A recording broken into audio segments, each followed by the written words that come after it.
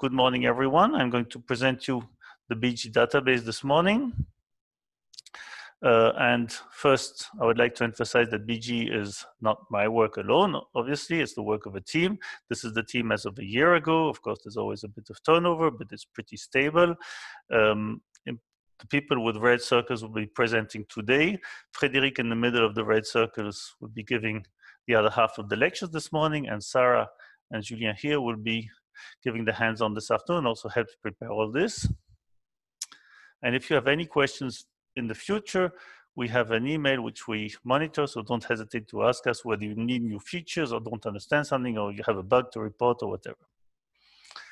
So what is Bgee? It's a database of gene expression.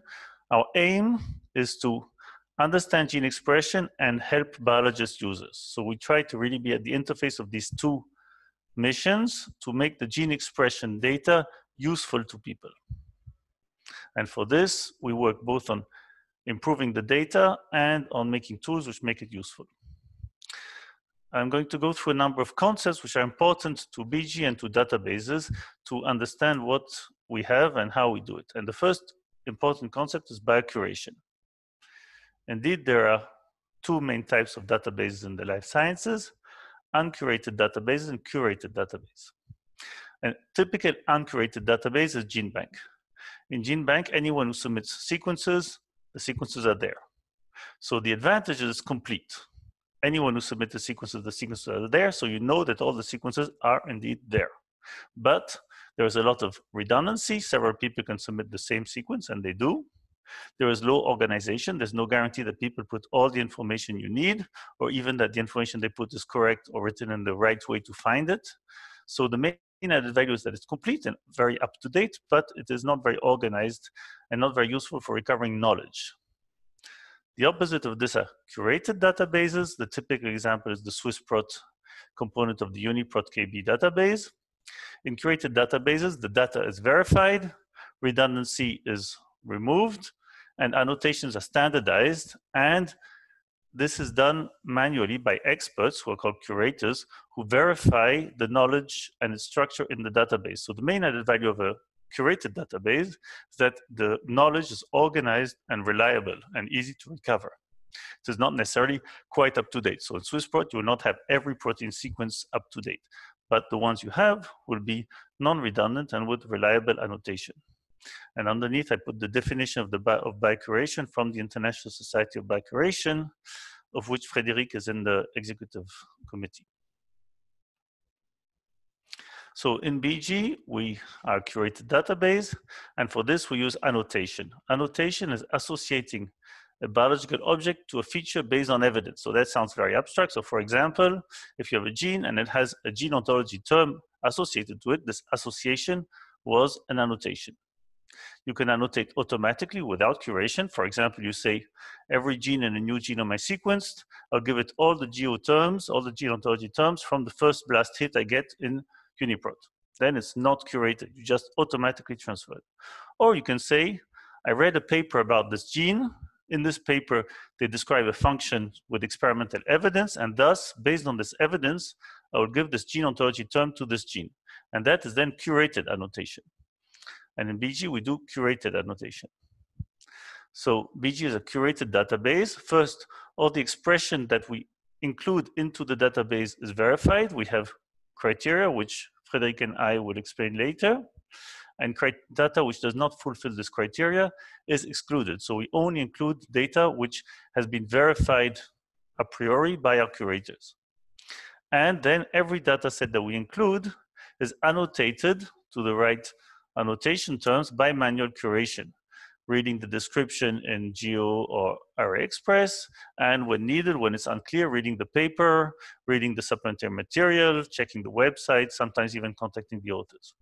And these annotations follow standards, which are themselves curated, and I'll explain some of these standards later, so that it's a work which is reproducible and reliable.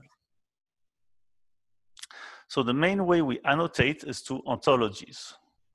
I've already spoken about the gene ontology. I will speak a bit more about ontologies now.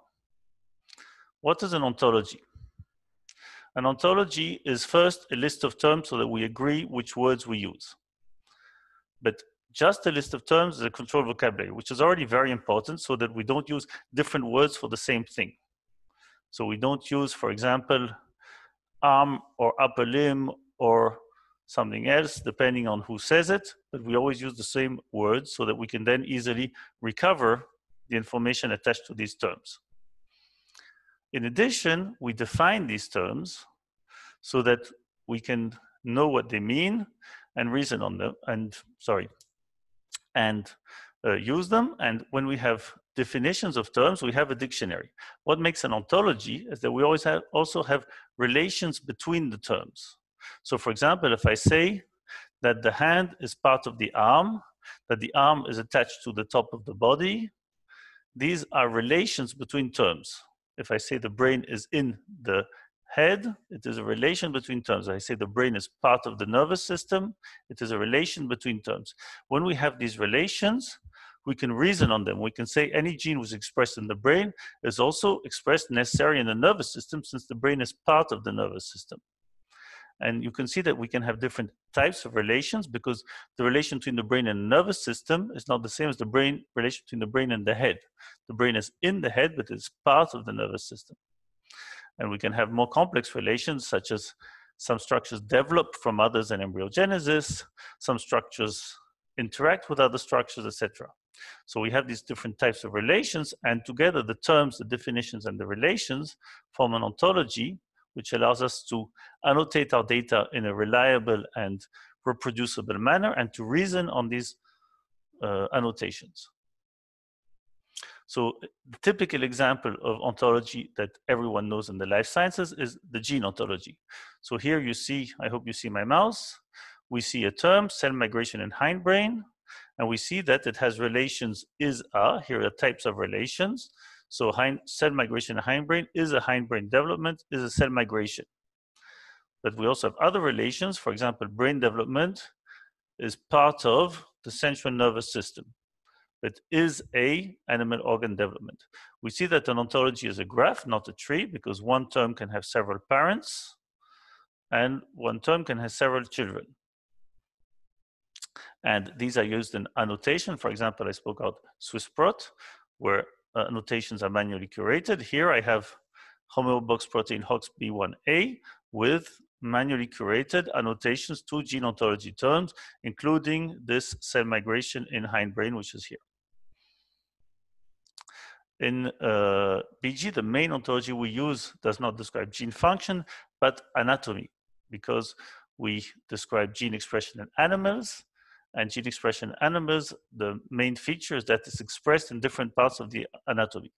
So we use Uberon, which is an ontology which was made from first aligning and merging different model organism species-specific ontologies of anatomy. So anatomy ontology describing mouse anatomy, zebrafish anatomy, Drosophila, melanogaster anatomy, etc. And then enriching this with additional terms, additional relations to describe as much as possible all animals. Now, of course, there's always a work in progress, whether it's the gene ontology or Uberon. Every ontology captures our knowledge at a given point in time. And as we learn more, or as just we have time to add things, it improves. So whenever you use an ontology, be careful to use a recent version. And do not be surprised that it improves with our knowledge because anything which captures computationally our state of knowledge at a given point is going to change as our knowledge changes.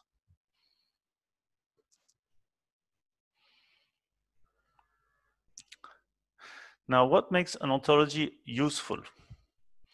Sorry, I think I heard that I had a question, but I don't know how to see it. okay, I'll continue this for now.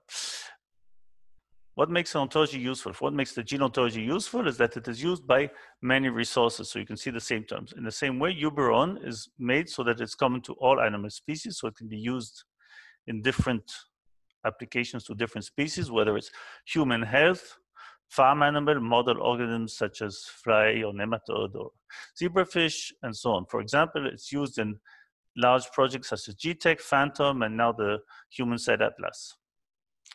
An ontology is more useful if it covers a large domain of knowledge, such as gene function or animal anatomy, which is relevant to all animals and relevant to a lot of functions. And an ontology is more useful if there are many tools leveraging it.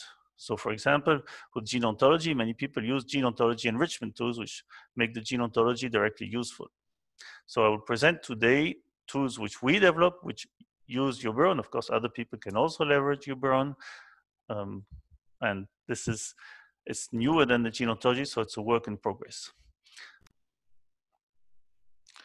So we annotate to four types of conditions all this manually curated in Bgee anatomy, which is the biggest in number of terms and in work of annotation, which is what I just showed you. We annotate to Uberon, so we can be very precise because Uberon also includes, goes down to cell types, so you can be very general, say this is expressed in the body or in the head, or you can be very precise, this is expressed in beta cells of the pancreas. We also annotate to development and life stages. So we have an ontology per species that we develop and make available to the community, which describes from zygote to old age each species. And this has to be per species because development and aging is a bit different in each species. And the ontologies we develop for this are now reference ontologies and are used, for example, by the uh, GTEx or Human Cell Atlas for human. We also annotate sex, which in most species is simple, male or female, or undefined when we did not get the information. And in some species, a bit more complex, but I don't think I'll go into detail of this now. If someone is working on with Daphnia or ants, you can ask us. And we also annotate when the information is available, strains or populations.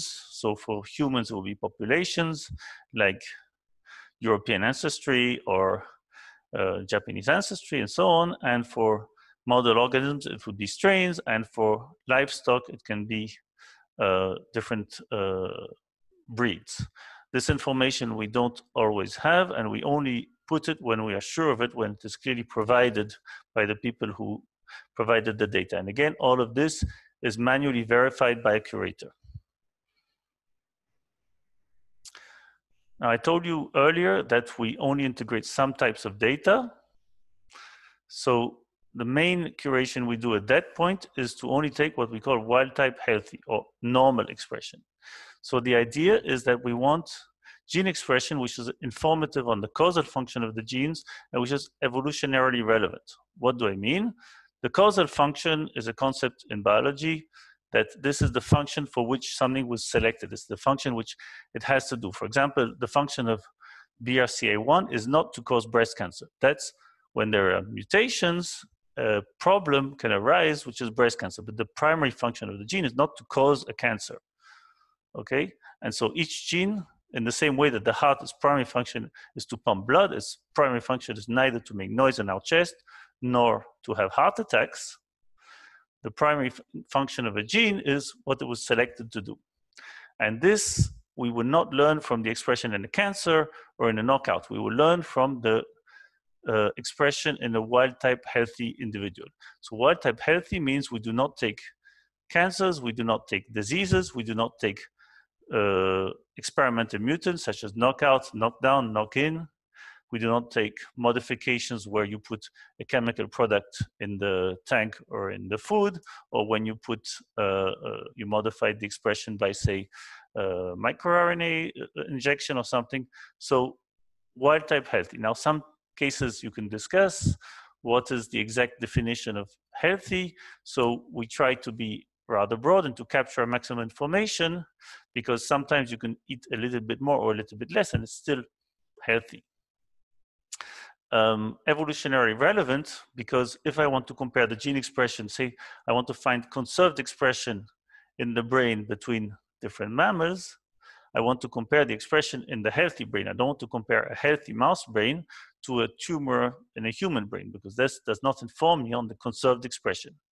And while when we started Bgee, our main concerns were these two, we have found with experience that's actually very relevant for biomedical studies where often you have data on medical issues, so diseases, cancers, and so on, mutants, and you want to be able to see how does this compare to the default, what I have when I am healthy. And we can provide that reference and guarantee that we verified it carefully.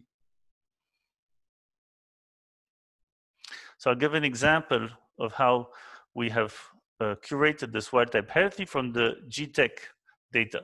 So the GTEx is the Genotype Tissue Expression Project. It's a very large project to do RNA-seq and genotyping from many humans with many tissues sampled. And if you look at the definition on the homepage of GTEx, they say from non-diseased tissue sites. And many studies use the GTEx data as a reference of healthy. But if you look in the FAQ, you see, we have not excluded specific donors from specific tissues based on their cause of death or medical history. So in fact, you do not know that they were healthy. And so our curators read all the descriptions and all the pathology reports of all the data in the version 6 of GTEx. And we found that many were not actually healthy data, healthy people. So about so there were 179, uh, about a third of the, the individuals used, whom we did not use at all. We did not use people who died of drug abuse, who died with an invasive cancer, who were morbidly obese, and so on. And then among another quarter, there were many where we discarded at least one tissue. For example, if someone had Alzheimer, we kept the liver tissue, the muscle tissue, but not the brain tissue. If someone had ascites, which was a liver disease, we did not keep the liver, but we kept the brain, the muscle, the intestine, etc. And so in total, after this large amount of work, which represented actually one year full-time equivalent of curation by several people, we kept only half the samples of GTEx version 6. So half the samples are in fact not representing healthy gene expression, but gene expression which was either modified by drugs or impacted by a very severe disease. And we do this for every data set we integrate, even though usually it's less work than for GTEx, which is the largest data set that we have. So in total, for GTEx version 6, out of 11,900 libraries, we kept 4,800, which is about half. And we annotated in the database, in our annotation files, very detailed the exact anatomical entity, the exact age, the sex, and the ethnicity. I should say that also we removed those where the pathology report showed that they did not actually sample the anatomical entity that they said they would sample. So you can have that the GTEx guidelines said to sample a certain tissue, and the pathology report says I didn't manage quite, and I took a bit of the tissue next to it. And in GTEx, this will be put annotated to the original tissue wanted, but it's actually not true, so we remove it. And we are not allowed to make all this data available because GTEx is uh, restricted data because of the respect of the privacy of the people who donated. So we provide, of course, all the expression, annotated to the exact anatomical entity, but not the exact age and not the ethnicity. And so in the end, from GTEx, we get 539 conditions, which a condition is a combination of anatomy, age, sex, in 75 anatomical entities. What are the types of expression data that we integrate into Bgee? So there are different ways to measure expression. And the oldest large scale, quote unquote, because it's not so large scale modern standards, the first untargeted way to obtain gene expression was ESTs. So for those of you who would be old enough, you would remember that when we started doing genomics, we started getting expression from this Sanger sequencing of random mRNAs. So it's in Bgee because we started putting it at the beginning, and there's no reason to remove it, but it's no longer updating. And actually, the official database of ESTs at the NCBI was retired last year, and we have it in four species, which were the species which we had when we started annotating these ESTs. So it's a bit anecdotal now, but I include it. Now, this is very important, in situ hybridization. In situ hybridization is when you do manually experiments of hybridizing typically in an embryo, although it can also be Uh, in slices of an adult or depending on the species, a whole adult. And there are 44,000 in situ experiments in Bgee, which correspond to 343,000 evidence lines. An evidence line would be saying, here RAR gamma is expressed in, for example, here the end of the tail. And we do not annotate this directly. We have agreements with the model organism databases of mouse, zebrafish, C. elegans, and Drosophila melanogaster so that we can recover the data they already curate. This is not to duplicate work. There's enough curation to do in the world that we can let them curate this, which is their main job, and they do it very well. And we curate other types of data. But we integrate it, and it's very important because in situ hybridization provides an amazing level of detail. Usually, when you do large scale experiments, you take big chunks of body. You take brain, you take liver, when you do in situ hybridization, you can be extremely specific on where the gene is expressed. And this information is very precious for us to be able to say where genes are expressed. And although these are small scale experiments, there are many of them. So you see, we still have quite a lot of data. 44,000 in situ experiments is not nothing. Now, the big source of data for transcriptomics has been microarrays historically, and we only took Affymetrix because they were the most common, and we did not want to have to manage different data types, which didn't bring a lot of information. So microarrays, unlike ESTs or in situ, are quantitative, and they cover mostly the, all the transcriptome, not all, because you need a probe set for the gene. And if you did not know this gene or did not manage to synthesize a good probe set for this gene, then it's not there. It is very important because a lot of experiments have been done with microarrays, really a lot, and many of these had not been redone. So it is easy for young researchers to think, okay, we don't need microarrays because we have RNA-seq. And it's true that today I would not do a microarray experiment. I would do an RNA-seq experiment. It is better. But if you want to use historical data, a lot of data on aging, we only have microarray data. A lot of data on circadian rhythm, we only have microarray data. A lot of data where reproducing the experiments is costly or very heavy, have not been reproduced yet. And so the microarray data is still very important to complete our view of the, of the gene expression. We have at present 12,000, 1,200, sorry, experiments annotated in Bgee, which corresponds to 12,000 chips. It's for more species than uh, in situ hybridization, although not all species, because only species for which a reliable Affymetrix microarray was indeed developed and used. And we do a lot of quality control, which Frédéric Bastien will explain to you in more detail. But one thing I would just mention is that we remove redundant chips. And this we are the only ones, as far as we know, who do, because we discovered this problem.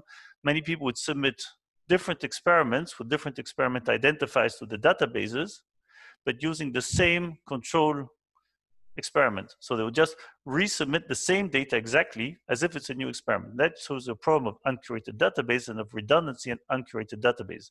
If you take all the Affymetrix data from, say, human or mouse from Geo or ArrayExpress, you will have the same experiment several times and it will increase your statistical confidence wrongly. We remove this.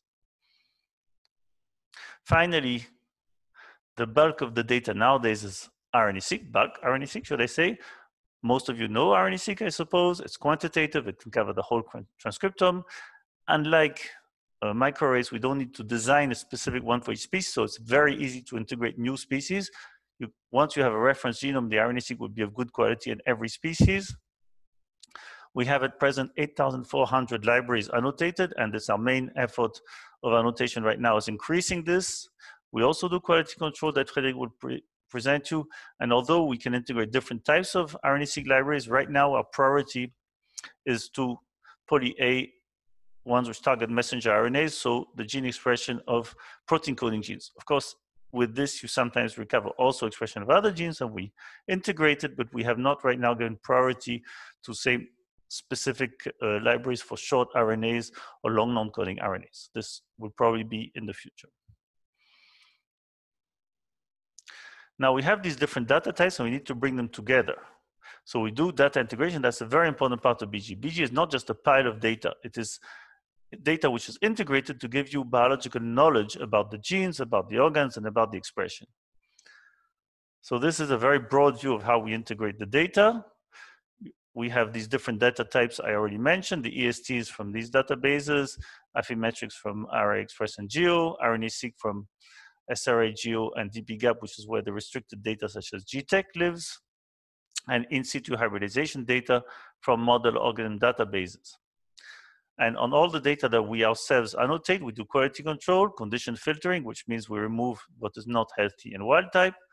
We reanalyze the data to make sure we detect active expression, and we map everything to the Uberon ontology, even that which comes from the model organism databases, because they, they do not necessarily use Uberon or in the same way that we do. And then all this is integrated, all curated on the same conditions, all mapped to the Uberon ontology, all integrated into Bgee. And how do we integrate these very different data types? There are different ways to do it. And one main way we do it is that from every data type, we call genes expressed present or absent. Okay, I hope this does not disturb the microphone because I hear noise from works next door. I'm sorry about this. Uh, this being said, I've already taught in a classroom with works next door, so this thing happens. So calls present absent is something which is comparable between all data types. If I have an in situ exp hybridization experiment, I can say this gene is expressed in this place, yes or no. But I can also get similar information from if I have an EST, the gene is expressed. If I have a significant microarray signal, the gene is expressed. If I have significant RNA-seq signal, the gene is expressed. And what do we mean by significant in these cases? Frédéric Bastien will go into more detail. And we also use this expression in a more quantitative way to say how important is the expression of a gene in a given anatomical structure, in a given organ, tissue, cell type. And for this, we use a score which takes into account the rank of the gene expression from every data type in every anatomical structure. And this uses, again, we can apply to each data type in a different way, and then we can integrate these scores so that we can have in the end one score which represents how much how important the expression of a gene is in a given anatomical structure and age or developmental stage. And so in the end we can give you an information which integrates everything. You don't have to look separately. What is the information from RNA-seq, what's the information from microarray, what is the information from in situ, which in the other database you have to look at these things separately. We give you one information where we have summarized the knowledge in an expert way. Bgee covers many species. Most of the examples I took now for human, but in fact, we cover right now 29 species. So obviously human and the main model organ of animals, so mouse, zebrafish, Drosophila melanogaster, C. elegans, but also you see here a variety of uh, mammals, some other vertebrates, some flies, and one of our priorities in the future is increasing this as we have good reference genomes and sufficient transcriptome data. So we have already curated data for the next Bgee release, just it takes time to run all our uh, pipeline and software to put the release out there, but it will come out this year. And we will have almost 18,000 new RNA-seq libraries. Well, that's what was curated. We'll still do the quality control, and we'll add many primates, many, many new fishes, and many other species which might interest some of you or not others some relevant to agriculture, such as turkey or sheep or honeybee, some evolutionarily interesting, such as the coelacanth or the sea anemone, etc. If you have uh, an animal which you would really like to see in Bgee, do not hesitate to send us an email. Two conditions have to be met. There has to be an animal, because we do not integrate, for example, plants or fungi. And there needs to be expression data available for diverse anatomical structures if you have your favorite mosquito species, and all that was done was whole body transcriptome to annotate the genome, we cannot integrate it because there's no anatomy to annotate it to, so it would not, we could put it, but it would not add anything, any knowledge. We leverage anatomy. And speaking of anatomy, since we want to have, we have different species, we want to be able to compare them. And to be able to compare them, we use the concept of homology. So you all know orthologous genes probably, which allow you to compare genes between species. We can also define such concepts at the anatomical level. So for example, if you want to compare the tetrapod lung to zebrafish data, you want to compare to the homologous structure. The homologous structure is the swim bladder, not the gills. This is the homologous structure between tetrapods and rayfin fishes. And so we manually annotate the anatomical homology between the different anatomical structures among animals. And so how this is done, it is by reading papers of Evo Devo, evolutionary developmental biology, of paleontology, and of comparative anatomy and so on. It is not from our gene expression data. This is very important because if you compare the gene expression between anatomical structures which are declared homologous in Bgee, it is not a circular reasoning. We did not use these data to define the homology. The homology was defined from external expert evidence from papers. And sometimes this even forces us to improve Uberon. As I told you, such things are work in progress. For example, here, there was a paper which showed the homology between annelids and chordates for the chord, which is kind of like, think of the vertebral column and the, the, the nerve, nerve in the back. Uh, so there is a cord in the back of all chordates and vertebrates is where the vertebrae and the um, I'm missing words here. Bref, the, the nervous system in the back is, and in other animal species it's different, and the annelids there is an axochord. So we had to add a presumptive axochord term so that we could define the homology between the notochord and the axochord.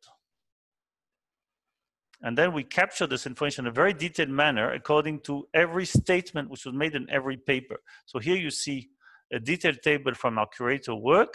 We have the homology between the axochord and the notochord, defined the, hom the Uberon terms, the type of homology, the references, the type of evidence we use, which is the same codes as used in the gene ontology, the evidence, how confident we are, because maybe in the paper they say that this is clearly showing this, or maybe they say this indicates, so we capture this, at what level it is homologous. So two things can be homologous at different uh, evolutionary levels and who annotated it. So, and the supporting text from the paper or the book.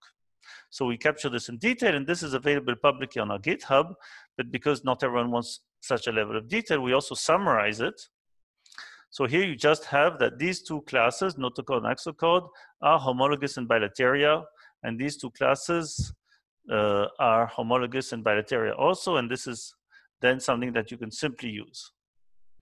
And again, this is available on our GitHub, and it's also used in Bgee.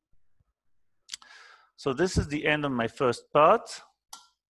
I went a bit faster than I expected because I'm really not used to speaking with no one in front of me looking at me and asking me questions. I'm sorry about that, so I hope I was clear. Um, so we have more time for questions. Please don't hesitate to ask.